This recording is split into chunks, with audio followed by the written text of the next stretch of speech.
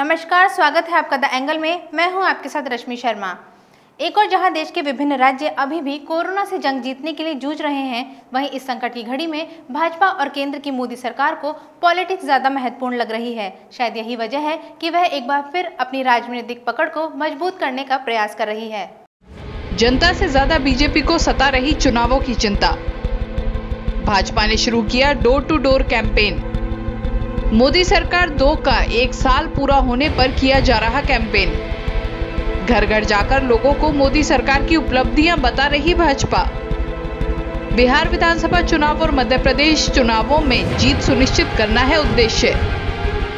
Corona और lockdown से कमज़ोर हुई भाजपा की छवि। कमज़ोर हुई छवि को फिर से मज़बूत करने की जुगत में भाजपा। इन दिनों देश कोरोना संक्रमण की मार से बेहाल है। इसी बीच नरेंद्र मोदी के नेतृत्व वाली केंद्र की बीजेपी सरकार ने अपनी लगातार दूसरी पारी का पहला वर्ष पूरा कर लिया है। ऐसे में जहाँ केंद्र सरकार की ज़िम्मेदारी देशवासियों के प्रति और ज़्यादा बढ़ जाती है तो बजाय देशवासियों को राहत देने के सरकार अपने इस एक वर्ष के कार्यकाल की उपलब्धियाँ गिराने में लग गई है।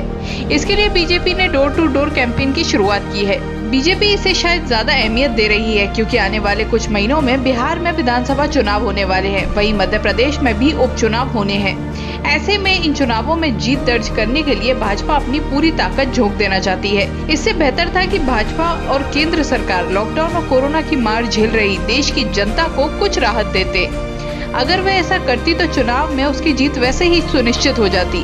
पर इस सीधे जन कल्याण के रास्ते को अपनाने की बजाय भाजपा ने राजनीति चमकाने का रास्ता ही चुना है और पूरी भाजपा अपने केंद्रीय नेतृत्व, प्रधानमंत्री नरेंद्र मोदी की आपदा में अफसर की तलाश वाली बात को साकार करती नज़र आ रही है।